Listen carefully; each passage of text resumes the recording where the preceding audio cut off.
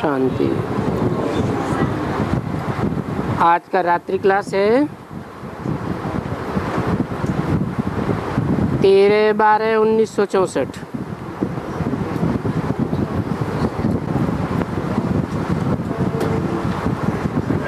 उनको बहुत बहुत अनुभव मिलता है।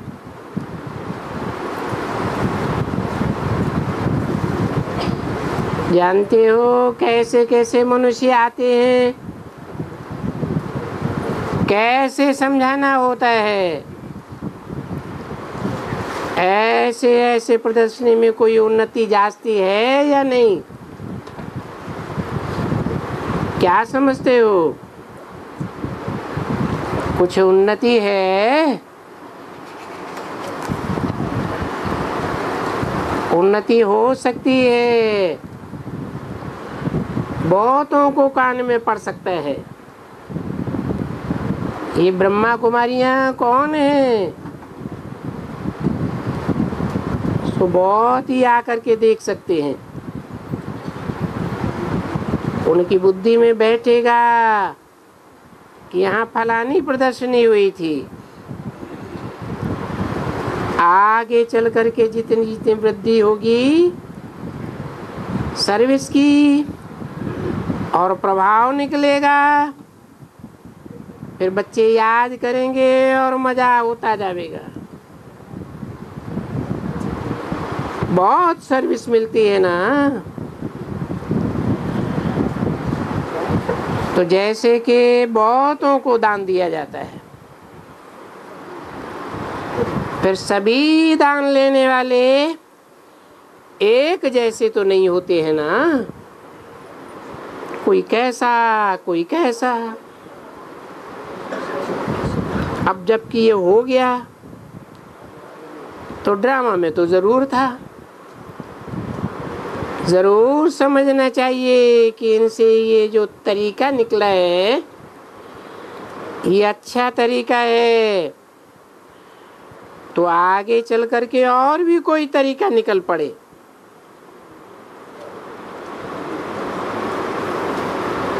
कौन से तरीके की बात की।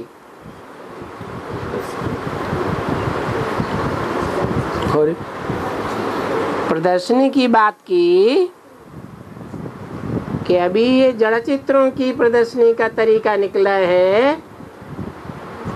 हो सकता है आगे चल करके और ही कोई पावरफुल प्रभावशाली तरीका निकल पड़े। ये तो मालूम नहीं था। आगे कि ऐसे प्रदर्शनी करेंगे। लेकिन हुआ। फिर समझा देना चाहिए कि कल पहले भी ऐसे हुआ था और इनसे फिर वृद्धि भी होगी। क्योंकि अच्छा लगता है, भासता है कि इनसे मनुष्य को बहुत चित्रों के साथ भिन्न भिन्न समझानी अच्छी मिलेगी। जो इन चित्रों पर समझाते आते रहे हैं, जितने जितने चास्ती चित्र और नाले सहित होंगे तो मनुष्यों को अच्छी तरह से समझाया जा सकता है।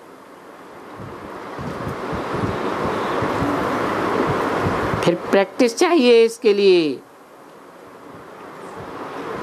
इसमें बच्चों की बहुत प्रैक्टिस होती है। इस बात की समझाने की बहुतों से बात करनी होती है। अनेक प्रकार के आते हैं। फिर धीरे धीरे जब कोई और सुनेंगे, यहाँ ये ये देखा, ये समझा रहे थे तो कोई को टच भी हो सकता है। अरे कलब पहले वाले ही निकल पड़े। तो वो भी निकल सकते हैं। बाबा तो ज़ोर करके लिखते भी हैं। जो भी मठ पंथ वाले साधु हों, चाहे जो भी हों, सबको निमंत्रण दो कि आकर के देखो, कुछ समझो। और निमंत्रण देते वक्त भी समझाना पड़े। दिखलाना पड़े कि वहाँ ये ये समझानी मिलती है। वेद, ग्रंथ, शास्त्र वगैरह, ये बातें वहाँ नहीं मिलेंगी। वहाँ तो चित्र हैं, समझानी है। परंतु श्रीमत पर ये सभी समझानी मिलती है।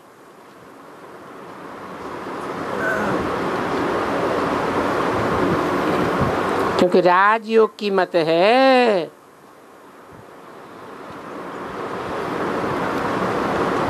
ये सन्यासी विद्वान नहीं समझा सकेंगी। क्योंकि बहुत विद्वान अक्सर करके सन्यासी ही है। समझते हैं कि स्वर्ग के सुख काग विष्टा समान है। अरे, ये तो राजयोग है। जो राजयोग भगवान ने सिखाया था नर अर्जुन को नारायण बनने के लिए सिखाया था। और नारायण तो देवता होता है। भगवान की जो दात है, उसे काग विष्टा समान कैसे कहा जा सकता है? तो ये सभी बातें समझानी पड़ती हैं। जिनके पास फिर ले जाते हैं ऐसे ऐसे ले जाने से वो इतना अटेंशन नहीं देंगे। हर एक से बात करनी होती है। बात करने का शौक होता है। जितनी बात करेंगे, इतना अच्छा होगा। किसके कान में बात पड़ेगी, फिर आगे चल कर के वो समझेंगे कि फलानी फलानी आई थी। फलानी ने हमको निमंत्रण दिया था, ये पढ़ा था। किस किस के पास चित्र वगैरह रह जाएँगे तो वो देखेंगे। जिनके भाग्य में होगा, उनके पास कोने में भी रह जाएँगे। जब सुनेंगे, तब समझेंगे कि हमको ये चित्र मिले तो थे। अच्छा फिर भी तो इन्हें देखें। और देखने से फिर वो खड़े भी हो सकते हैं। क्योंकि जो जो भी सर्विस हो रही है, वो तो होती है कल अब पहले भी इस प्रकार से समझाया था ज़रूर। ये बम्बई जैसे बड़े गाँव में पाँच सात जगह ये प्रदर्शनी होनी चाहिए। इसमें खर्चा होगा तो कोई बात नहीं। बहुत करके हफ़्ते के लिए पाँच सात सौ, हज़ार रुपया लेंगे। तो और क्या हुआ? फिर बहुतों के कान पर पड़ेगा। बहुतों का कल्याण होगा। दस बीस का कल्याण हो जावे।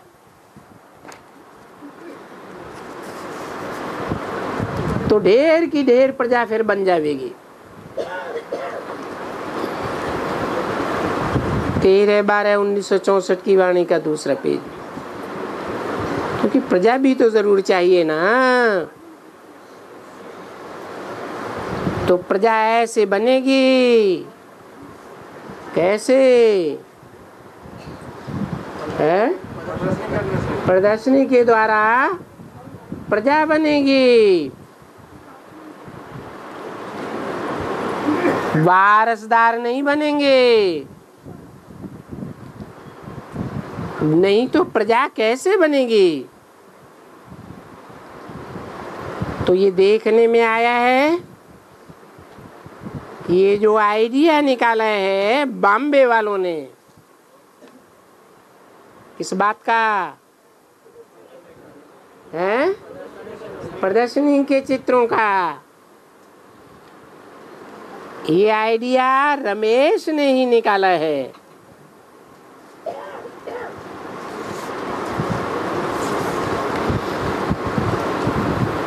तो मूल ये है। किस बात में मूल? है? प्रदर्शन करने की बात में मूल? कौन है?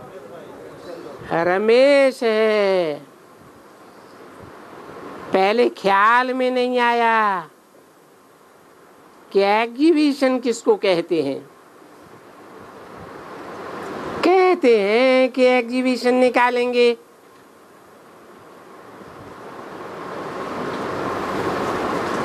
प्रदर्शन भी करेंगे। परंतु कुछ बात समझ में नहीं आती है ना। फिर जब रमेश ने ये बताया, ये दिखलाया, तब ये बात बुद्धि में आई। किसको? है? ब्रह्मा बाबा को ये बात बुद्धि में आई। किस बात की बात? प्रदर्शनी की बात बुद्धि में आई। तो फिर उनको पुष्टि भी देनी पड़ी। और देखने में आया, ये आइडिया बहुत अच्छा है। ब्रह्मा बाबा रमेश के इस प्रदर्शनी के आइडिया से प्रभावित हुए या नहीं हुए? प्रभावित हुए।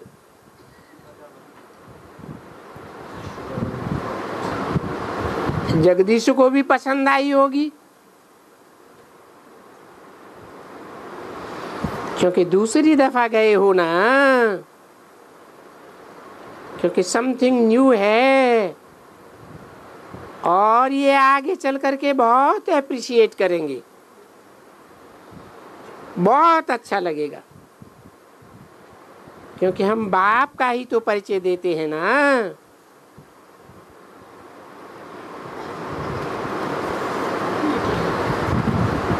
काय के द्वारा? प्रदर्शनी के द्वारा बाप का ही तो परिचय देते हैं ना।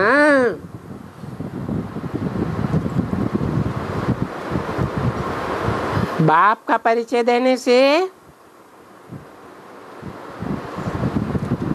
प्रदर्शनी के द्वारा प्रजा तो निकलेगी। परंतु कौन से बाप की प्रजा निकलेगी? है? ब्रह्मा बाप की प्रजा निकलेगी। है?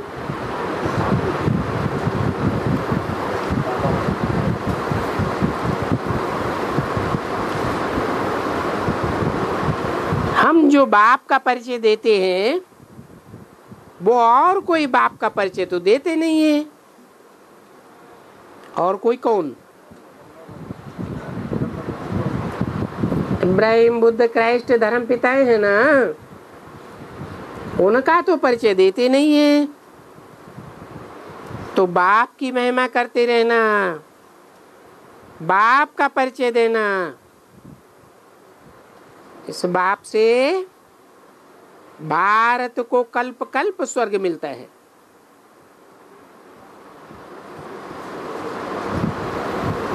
जो देते हैं, उनको भूल गए हैं। क्या देते हैं? स्वर्ग देते हैं। कौन देते हैं? बाप देते हैं। इब्राहिम बुद्ध क्राइस्ट ये धर्म पिताएँ अपने अपने धर्म वालों को याद है। और हिंदुओं को अपने धर्म पिता का परिचय ही नहीं है, ध्यान ही नहीं है कि हमारे धर्म का धर्म पिता कौन है। भूल गए भूलने के कारण ही जैसे कि गुमाए बैठे हैं।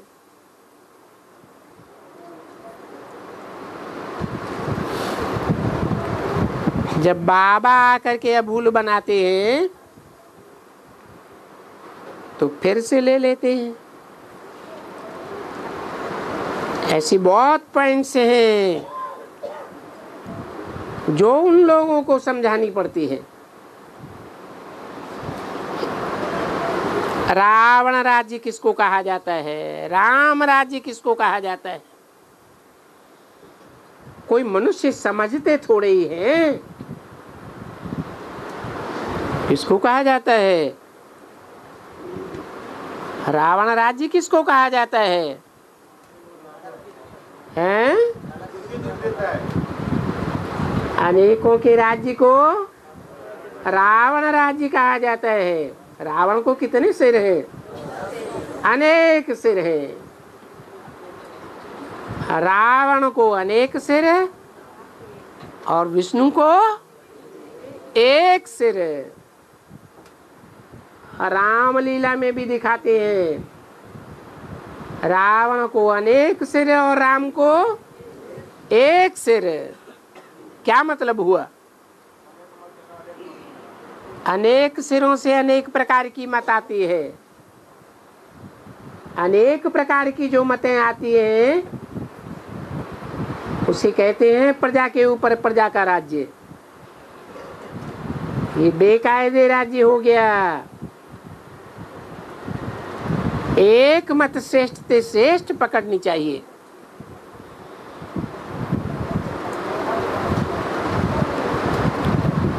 तो इन बातों को कोई मनुष्य नहीं समझते हैं। साधु, संत, सन्यासी कुछ भी नहीं समझते। जो पक्के सन्यास धर्म वाले साधु होंगे, वो इतना नहीं समझेंगे।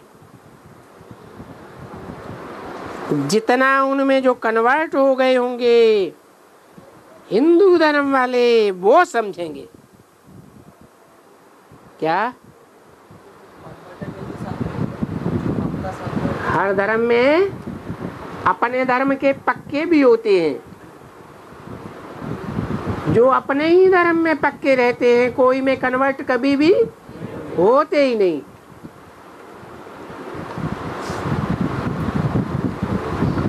और ऐसे भी होते हैं जो अपने धर्म को छोड़ करके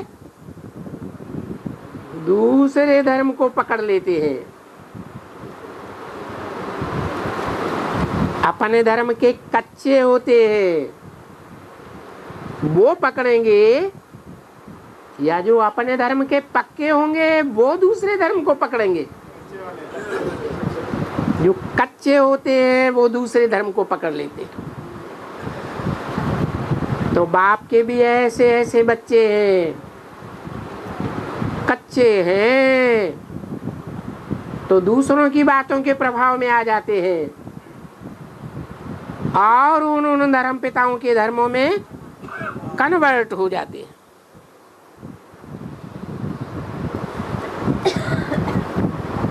आखिर इन तो शादियों को भी समझना है। क्या कहा? और धर्म वाले फिर भी पहले समझ जाएँगे। लेकिन ये सन्यासी कब समझेंगे? आखिरी समझेंगे। पहले इनकी बुद्धि में नहीं आवेगा। ब्राह्मणों की संगम युगी दुनिया में वो साधु कौन है? हैं? जिन्हें के मुखिया के लिए बोला है। क्या बोला है? हैं? बोला है, भारत माता शिव शक्ति अवतार, अंत का यही नारा है। ऐसे वो दुनियावी साधु अंत में निकलेंगे। वैसे ये बेहद के ब्राह्मणों की दुनिया के साधु भी अंत में निकलेंगे। जब ये सन्यासी निकलेंगे, तब तुम्हारी विजय हो जाएगी। कब विजय होगी? क्यों? ऐसी क्या खास बात है इनमें?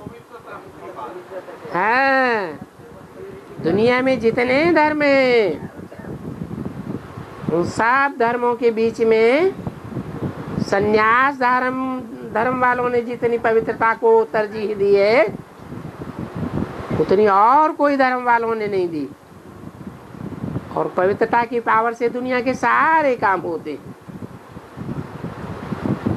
तो बताया कि आखिरी में ये साधु समझेंगे।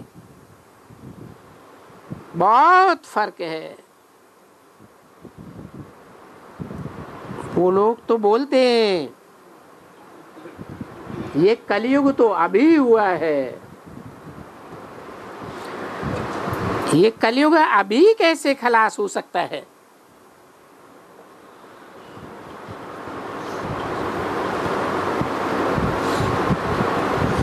उनकी समझ में अभी नहीं आवेगा। आखिरी समझ जावेंगे। देखो, ये क्रिश्चियन लोग बहुत ले गए हैं ना? क्या ले गए हैं? क्या ले गए? हीरे जवाहरात ले गए। ज्ञान रतन नहीं ले गए। हाँ। अंग्रेज़ों में एक बड़ा विद्वान हुआ है, मैक्स मूलर। उसने भारत के ढेर सारे शास्त्रों का अध्ययन किया।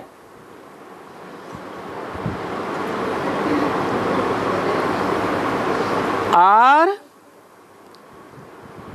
बहुत कुछ शास्त्रों से उठाया।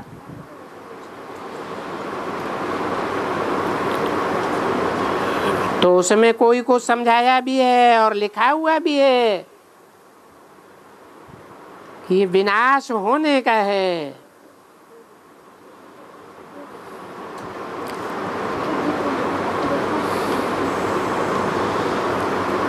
इन चित्रों में सामने देखते हो ना कि दो बिल्ले वर्ल्ड का विनाश करते हैं।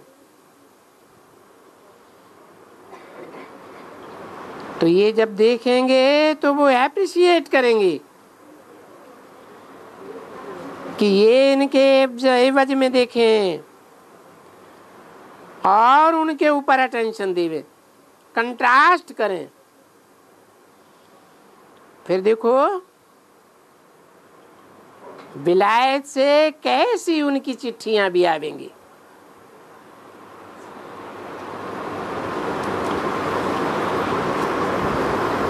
क्योंकि है सभी धर्म वालों के लिए। क्या? सभी धर्म वालों के लिए क्या है? ये जो चित्र है प्रदर्शनी के, खास चित्र कितने हैं? जो बाबा ने बनवाए हैं, वो चार चित्र खास हैं। बाकी के लिए तो मुरली में बोला है कि माया की मत पर ढेर के ढेर चित्र बनाए हैं।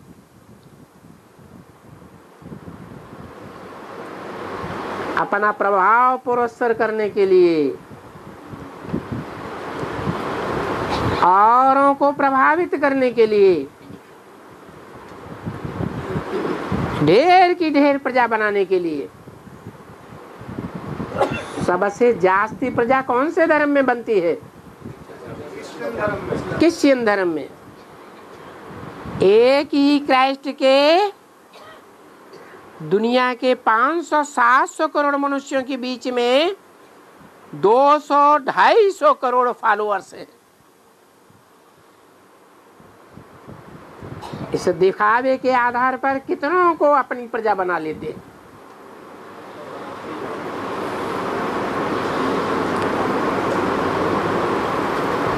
बाकी बाबा का कहना है कि ये चित्र तो सभी के लिए है।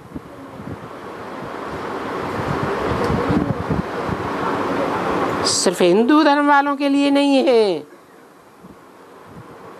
ये तो सभी धर्म वालों के लिए है। क्योंकि सभी धर्म वालों को बाप कहते हैं कि तुम सब धर्म के फॉलोअर्स आत्माओं को मेरे पास आना। है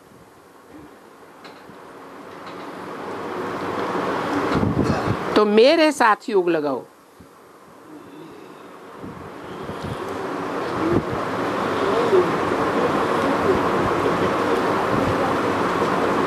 ये राइट बात है ना?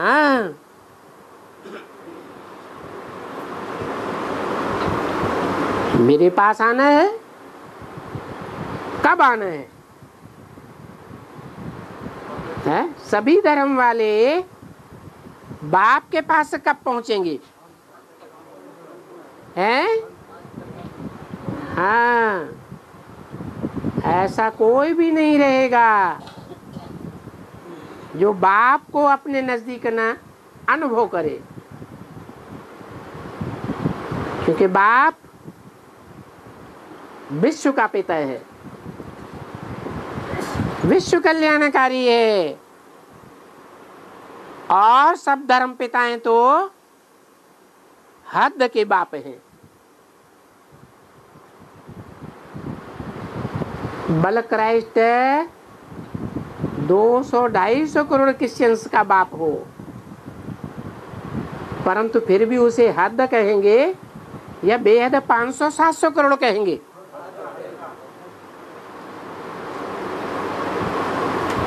तो सब धर्म वालों को मेरे पास आना है। इसलिए कहते हैं, मेरे से योग लगाओ।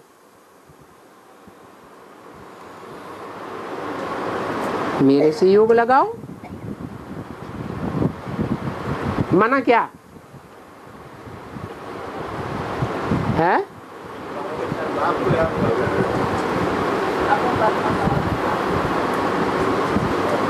मेरे से योग लगाओ माने।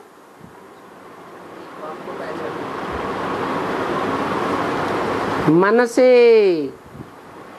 मन के संकल्पों से, वाचा से कर्मेंद्रियों के कर्मों से। जो भी कर्म करें, वो किसके लिए करें? बाप के लिए करें। तो कहेंगे कि बाप के नज़दीक है। हम बच्चे तो बाप का परिचय देते हैं।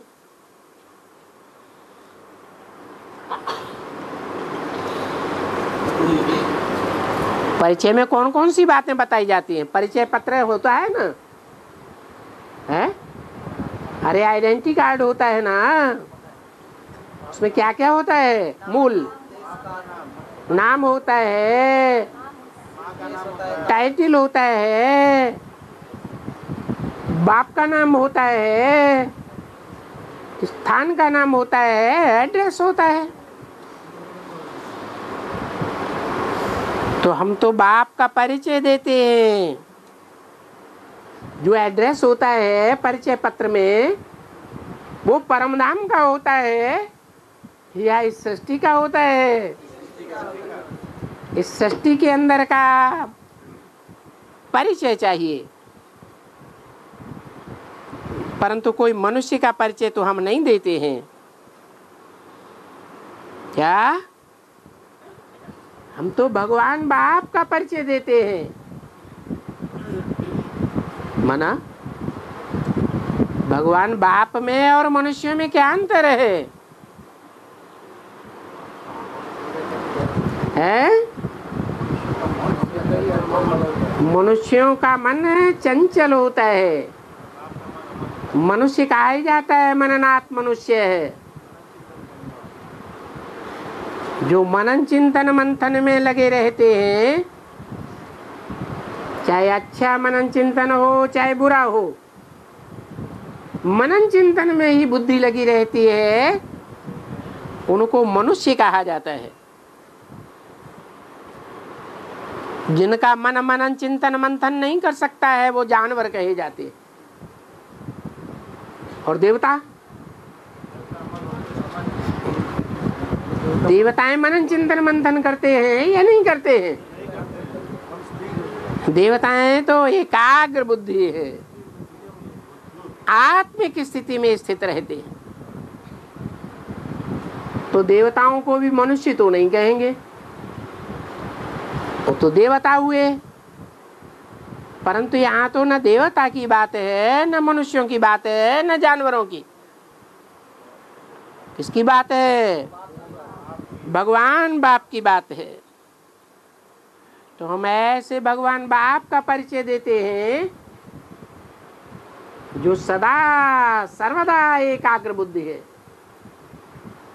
बुद्धिमानों की बुद्धि है।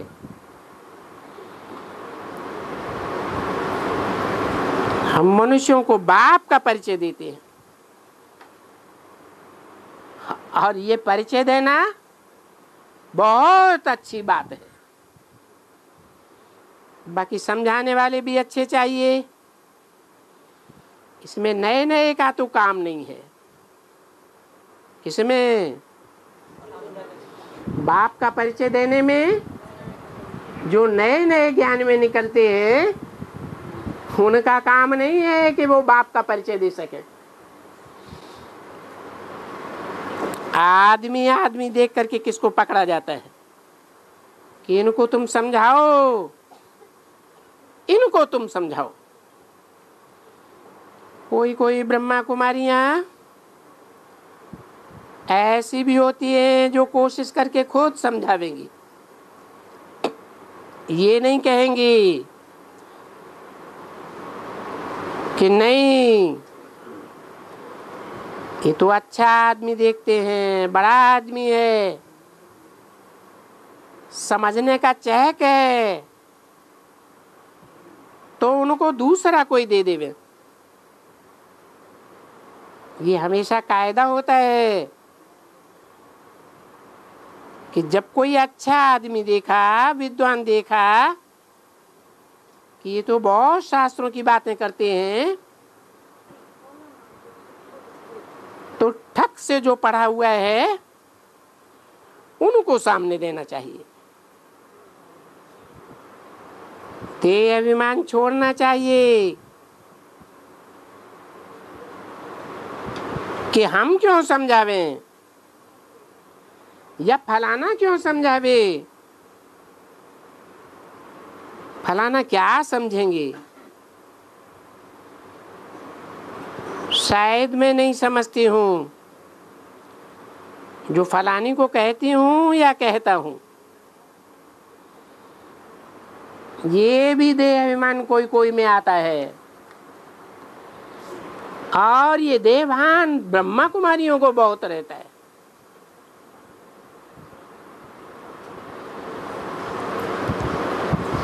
तेरह बारह उन्नीस सौ चौसठ की वाणी का तीसरा पेज इनके मुआफिक कोई दूसरा होता? तो बाबा बहुत अच्छी तरह से समझाता। जैसे धंधे में होता है ना, ग्राहक को बहुत युक्ति से उठाना पड़ता है। जिसको उठाने का शौक होता है, वो सीख जाते हैं। देखते हैं कि ये मेरे से भी अच्छा है। सेठ को बुलाना चाहिए। तो सेठ को बुलाया कि सेठ जी आओ। इनसे आकर के बात करो।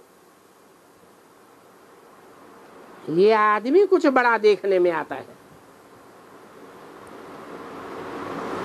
तो फिर इंट्रोड्यूस करते हैं। सेठ जी आया हुआ है, ये मालिक है। आप इनसे बात करो। ग्राहकी में भी ऐसे ही किया जाता है। यहाँ समझाने में भी ऐसे किया जाता है। इंट्रोड्यूस कराया जाता है। तो कोई सेठ को कुछ ना कुछ जास्ती तिलक दे देंगे। वो होशियार होते हैं। इसमें बहुत कुछ सीखना है। जितनी बच्ची जास्ती होगी, इतनी बहुत अच्छी सीखेगी इस प्रदर्शनी में। बाबा को तो मालूम रहता है। कि किस किस को इस प्रदर्शनी में जाना चाहिए? उठाना चाहिए, प्रैक्टिस करनी चाहिए। क्योंकि सर्विस पर जो रहती है, और कोई तो सर्विस पर शौक नहीं रखते हैं तो उनको भेज करके क्या करेंगे? बाकी बहुत अच्छा है। बच्चियाँ या जो भी बच्चे हैं, वो जानते हैं कि कौन कौन सर्विसेबल हैं। ऐसे नहीं है कि कोई नहीं जानते हैं। सब अच्छी तरह से जानते हैं कि कौन कौन अच्छे अच्छे सर्विसेबल हैं। अच्छा बाजा बजाओ।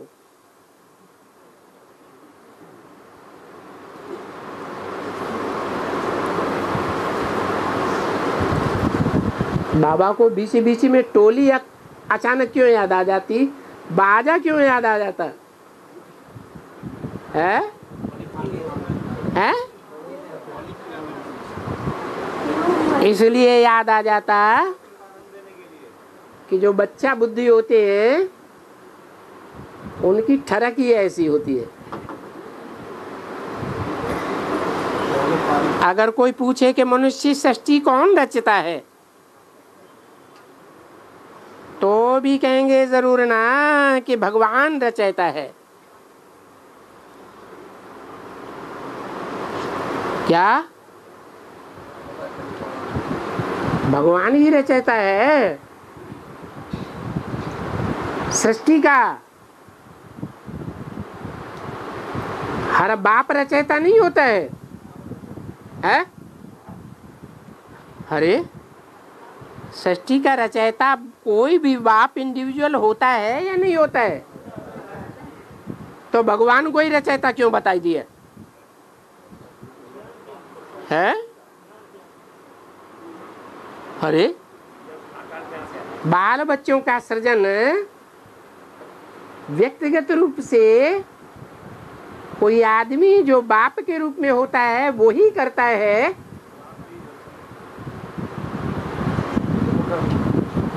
तो भगवान का ही नाम विशेष क्यों लिया? कि भगवान ही सृष्टि का रचयिता है। हैं? वो तो तुम्हारी आत्मा, जो भी बाप होता है, वो आत्मा स्वरूप में निराकार है और सृष्टि के पाँच तत्वों के शरीर को धारण करता है, साकार शरीर को। वो भी तो निराकार साकार का मेल है। तभी तो सृष्टि रचता है। निराकार कैसे रचेगा?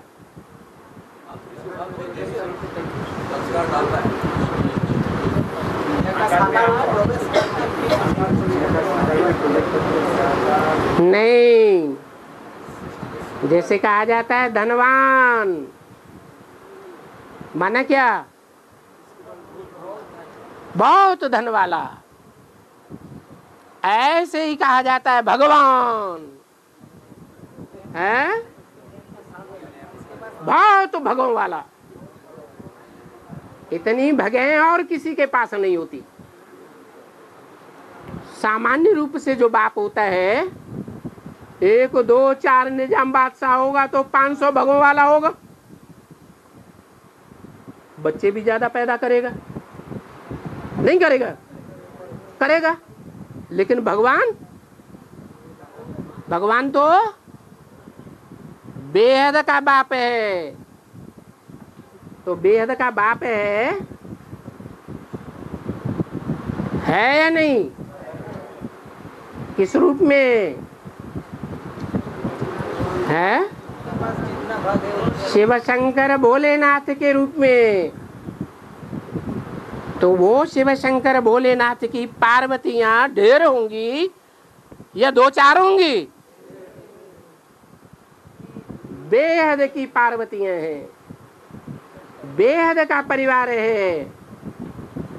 और धर्म पिताओं का फिर भी हद का होगा, या बेहद का पाँच सौ सात सौ करोड़ का होगा? हद का होगा।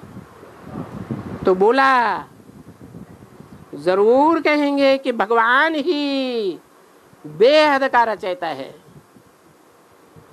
रचा जाता है बच्चों को। है? इंडिविजुअली बाप क्या रचते हैं? बच्चे ही तो रचते हैं। तो बच्चों को रचा जाता है? कोई अपन को थोड़ा ही रचा जाता है?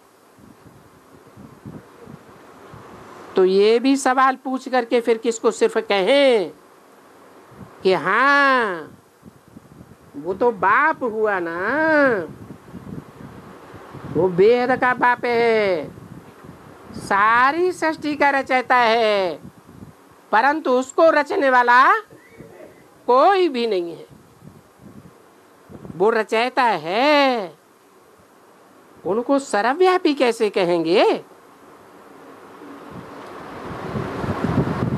ये पाई पैसे की बात में ही जनरली समझाई देना चाहिए कि ये सृष्टि रचने वाला कौन है? कोई मनुष्य व देवता का नाम नहीं लेंगे। सृष्टि कौन रचता है? भगवान ही रचता है। वो तो कहेंगे ही गॉड फादर रचयता है। फादर माने ही उनसे वर्षा मिलना चाहिए। बेहद का बाप है तो बेहद का वर्षा देता होगा। और वो बेहद का रचयता स्वर्ग की रचना करता है। उसने स्वर्ग को रचा था। क्यों? और और जो इंडिविजुअली बाप होते हैं, वो अपने बच्चों के लिए सुख की दुनिया नहीं रचते। हैं? है? सभी बाप अपने बच्चों के लिए सुख की दुनिया ही रचते हैं। फिर वो इंडिविजुअली बाप और ये बेहद के भगवान बाप में क्या अंतर है? हाँ वो हद के सुख की दुनिया रचते हैं। और ये बाप, बेहद का बाप, बेहद स्वर्ग की दुनिया रचता है। क्यों? वो ही क्यों रचता है? जो इंडिविजुअल बाप बाप होते हैं, वो क्यों नहीं रचते? स्वर्ग। हैं? नहीं। हाँ। कि और जो दुनिया में बाप होते हैं,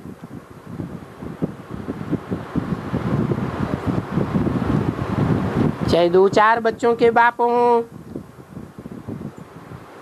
चाहे दो सौ, ढाई सौ करोड़ बच्चों के बाप हों, क्राइस्ट जैसे वो फिर भी नरक रचते। हैं क्यों? क्योंकि वो नर अर्थात मनुष्य है। मनुष्य क्या रचना रचेगा? मनुष्य नरक की ही रचना रचेगा। और वो बेहद का बाप स्वर्ग की रचना किस आधार पर रचता है? क्योंकि वो सदैव स्वस्थिति में रहने वाला है।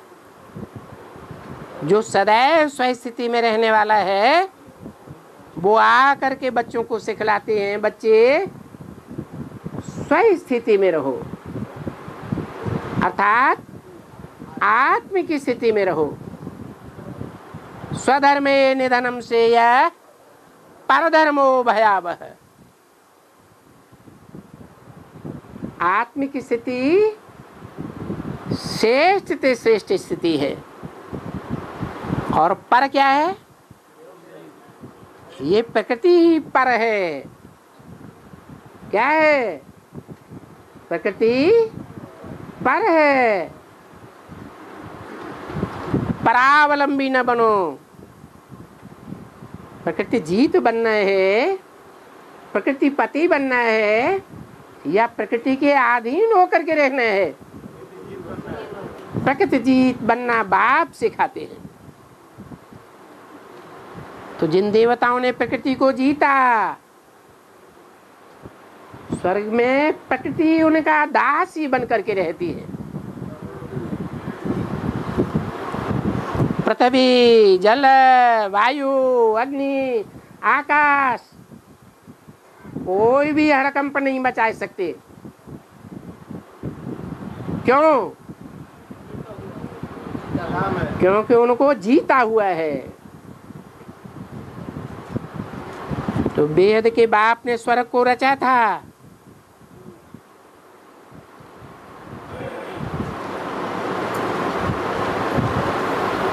ये कभी न कहें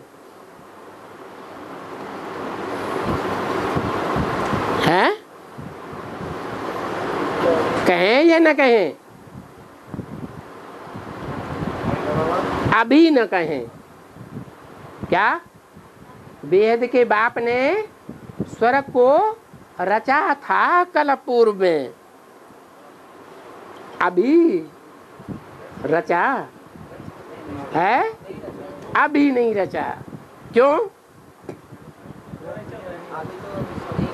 क्योंकि जब तक स्वस्थिति सदा धारण करने वाला बाप, हम बच्चों को नंबरवार आप समान न बना दे। तब तक स्वर्ग की रचना नहीं हो सकती। तो अभी न कहें कि वो स्वर्ग का रचयिता है। क्या? अभी भी नरक की दुनिया है या कहीं दुनिया में कोई भी परिवार में स्वर्ग है? है? नहीं है, नरक है। बाप के घर में भी माया आती है। मधुबन में माया आती है या नहीं आती है? तो ये मधुबन, जो मधुसूदन बाप का घर है उसमें भी माया इंटरफियर करती है। सारी दुनिया में माया और प्रकृति का राज्य है। बाप का राज्य तो नहीं है।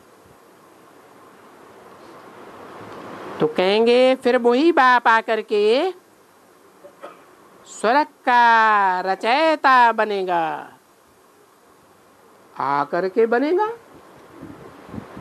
अभी आया हुआ नहीं है।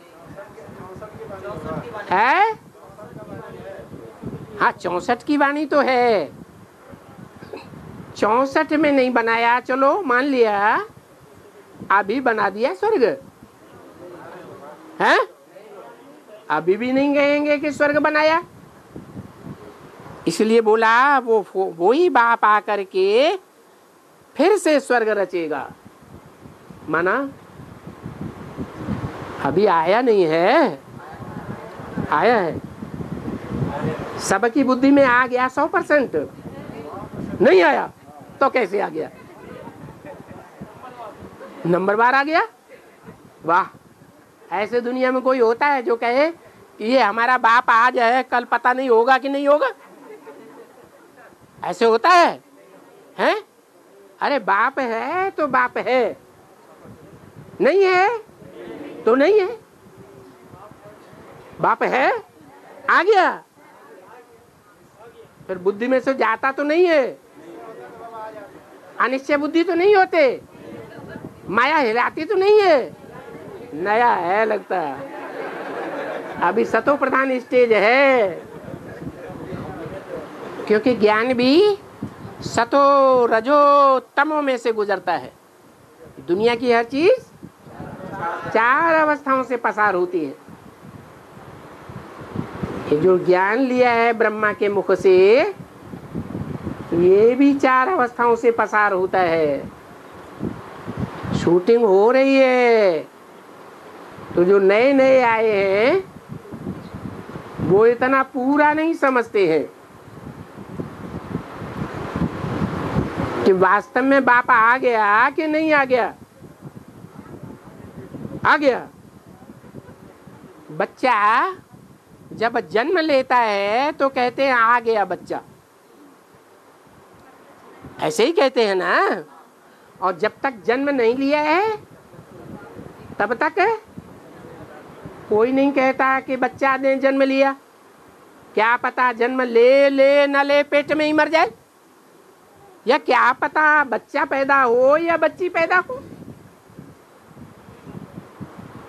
पक्का तो नहीं होता है। तो अभी गुप्त ज्ञान गर्भ में है। या पैदा हो गया। है? ये गुप्त बाप का पाठ चल रहा है। या प्रत्यक्ष है। कहेंगे, अभी भी गुप्त है। इसलिए कहा वही बाप जिसने कल पहले स्वर्ग रचा था। वही आकर के स्वर्ग रचेगा। अभी आया नहीं है। आएगा तो एक ठक से स्वर्ग की राजधानी स्थापन हो जाएगी। और ये नरक खलास हो जाएगा। जिनके लिए स्वर्ग की स्थापना हो जाएगी, उनके लिए नरक खलास हो जाएगा। नरक खलास करने के लिए ये बड़ी भारी लड़ाई है। कौन सी? महाभारी महाभारत। महाभारत तीर कमान की लड़ाई है। काय की लड़ाई है? हैं? माया की लड़ाई है। अच्छा अर्जुन ने रथ में बैठ करके माया की लड़ाई लड़ी थी। तीर कमान की लड़ाई नहीं लड़ी थी। है? नहीं लड़ी थी। लड़ी थी? तीर कमान की लड़ी थी, या काम क्रोध, लोभ, मोह, अहंकार की लड़ाई लड़ी थी? हैं? तीर कमान की लड़ाई लड़ी थी। हैं? वो भक्ति में होता है, हम अभी की बात कर रहे हैं। ज्ञान के ज्ञान के विकार होते हैं। हाँ। अज्ञान से जो विकारों की पैदाइश होती है, जो विकृति आती है, विपरीत कर्म होते हैं श्रीमत के बरखिलाफ। श्रीमत क्या कहती है? कौन सा कर्म करना चाहिए? है?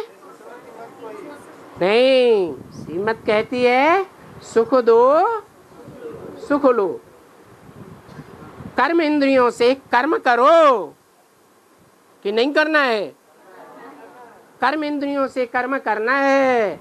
लेकिन ऐसा कर्म करना है कि कोई को दुख ना होने पाए। अगर कर्म इंद्रियों से ऐसा कर्म किया कि दूसरा दुखी हो जाए तो पाप बनेगा या पुण्य बनेगा? और पाप का फल है, नरक में भोगना पड़ेगा। नरकवासी बनेंगे या स्वर्गवासी बनेंगे? नरकवासी बनेंगे। तो ये माया की बड़ी भारी लड़ाई है। और ये माया की लड़ाई सिखाने के लिए कौन आया हुआ है? बेहद का उस्ताद आया हुआ है। माया की लड़ाई में जीत ही जीत पानी है। हारना नहीं है। इसका नाम है लड़ाई का महाभारी महाभारत ग्रह युद्ध। है? सन्यासी जंगल में जाके माया पर जीत को पाने की कोशिश करते हैं या घर ग्रस्त में रह करके जीत पाने की कोशिश करते हैं, वो जंगल में चले जाते हैं। और भगवान बाप क्या कहते हैं? अरे जंगल में तो पत्नी ही नहीं होगी। क्या? जंगल में कांटों के जंगल में दुखदाई ही मिलेंगे। सुखदाई नहीं मिलेंगे। क्या? सन्यासियों की कर्म इंद्रियों पर विजय जंगल में नहीं हो सकती। कहाँ हो सकती है? घर गृहस्थ में होकर के रह करके विकारों पर जीत पा सकते हैं। और घर किसे कहा जाता है? ईंटों के मकान को घर कहा जाता है क्या? नहीं। ये बात सन्यासी लोग भी जानते हैं, शास्त्रकार भी जानते हैं। कहते भी है, न ग्रहम ग्रहम मिति का उच्चते ग्रहणी ग्रहम उच्चते क्या? घर को घर नहीं कहा जाता। कौन घर है? गृहिणी ग्रहम उच्चते जो गृहिणी है, वही घर है। ग्रहम ही ग्रहणी हीनम अरण्य सदसम्मतम। घर जो गृहिणी से रहित है, चाहे बाप की गृहिणी हो, चाहे बच्चे की गृहिणी हो, लेकिन घर में गृहिणी ज़रूर हो। अगर घर में गृहिणी नहीं है, घर को संभालने वाली तो घर घर नहीं है, जंगल है, अरण्य है। तो इस लड़ाई का नाम क्या है? महाभारी महाभारत, ग्रह युद्ध। ये बड़ी भारी लड़ाई है। क्या? हाँ। और दुनिया में जो भी लड़ाइयाँ हुई हैं ढाई हज़ार वर्ष में वो तो छोटी छोटी लड़ाइयाँ हुई हैं। साल, दो साल, चार साल, आठ साल लड़ाई चली होगी। घेरेबंदी चली होगी। और ये लड़ाई तो बहुत लंबी चलती है।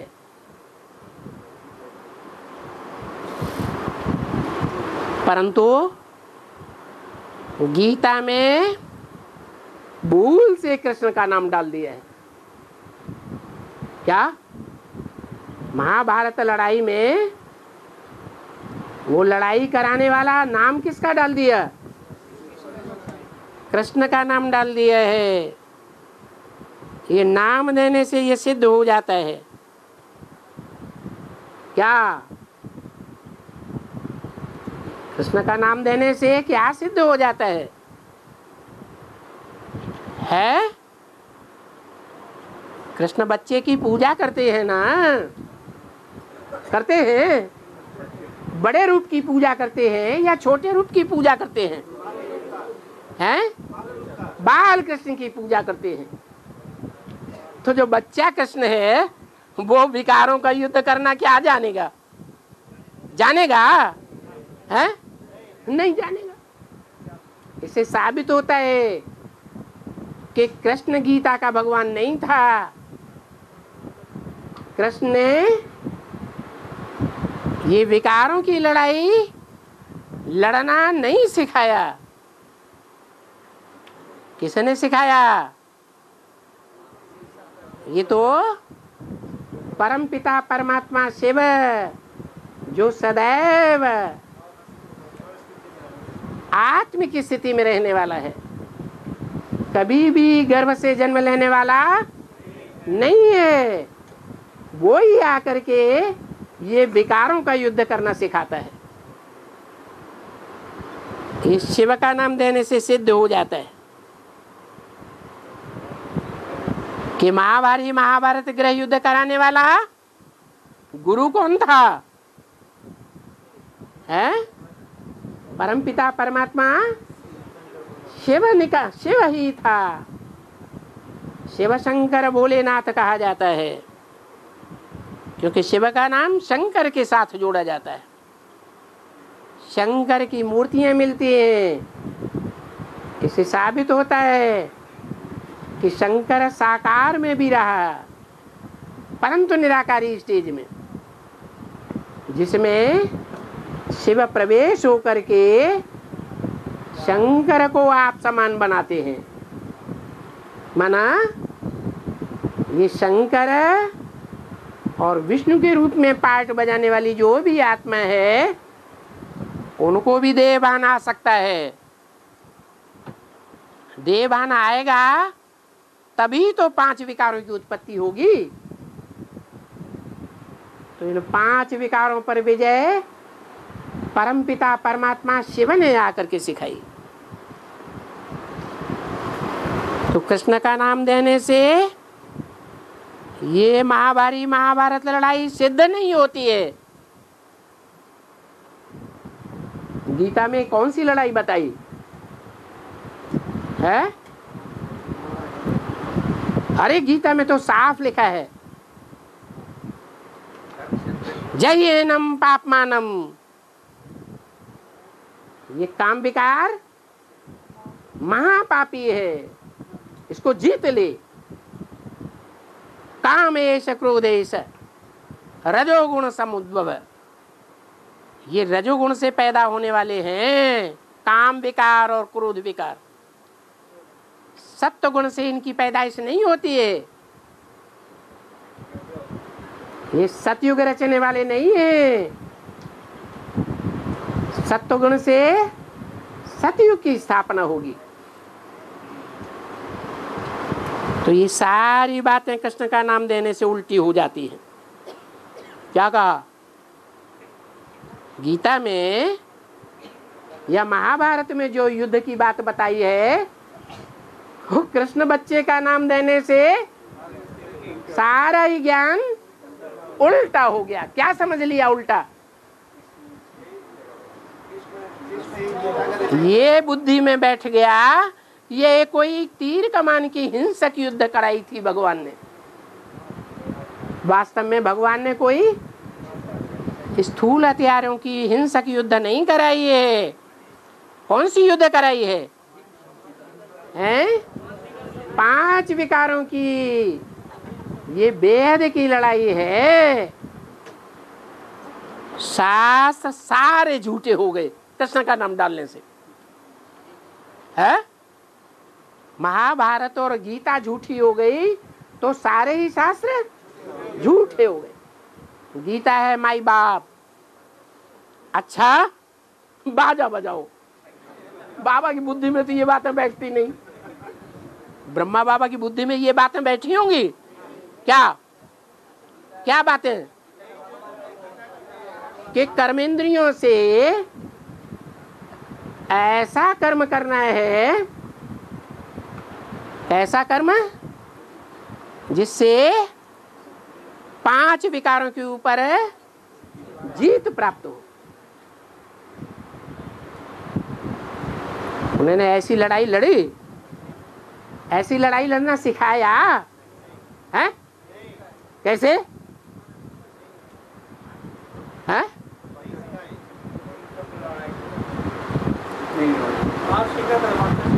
है? अरे, बाबा के संपर्क संसर्ग में संबंध में बच्चे नहीं आते थे क्या? ब्रह्मा बाबा के संपर्क में, संबंध में आते थे। परंतु काम विकार का युद्ध करना नहीं सिखाया। गोद में लेते थे, गोद में बच्चों को लिया जाता है। लिया जाता है ना? यहाँ तक सीमित रहा। तो उससे क्या साबित हो जाता है कि काम विकार के ऊपर जीत पाली? क्यों?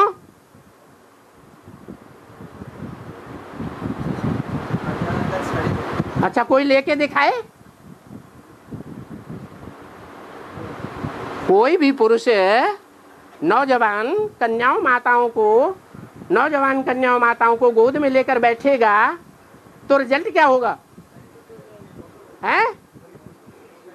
अरे कुछ रिज़ल्ट आएगा कि नहीं? क्या आएगा?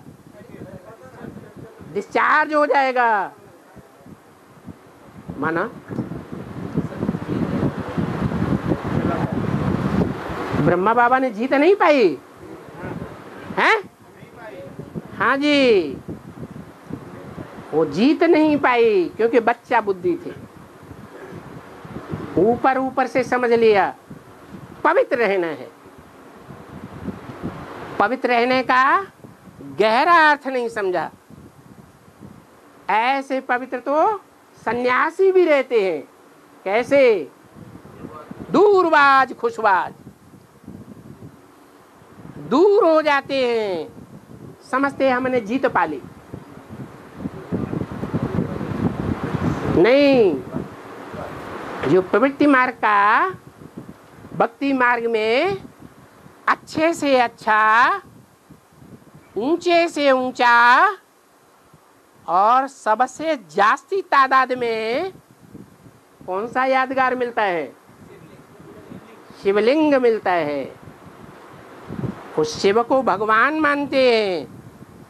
वो भगवान भगवती के संसर्ग, संपर्क और संबंध में जुटा हुआ है। और वो अपवित्र है या पवित्र है? पवित्र है। माना, वो पतनशील नहीं है। जो पतित होता है पतन पतन हो जाता है शक्ति का, उसको पतित कहा जाता है। है। अच्छा।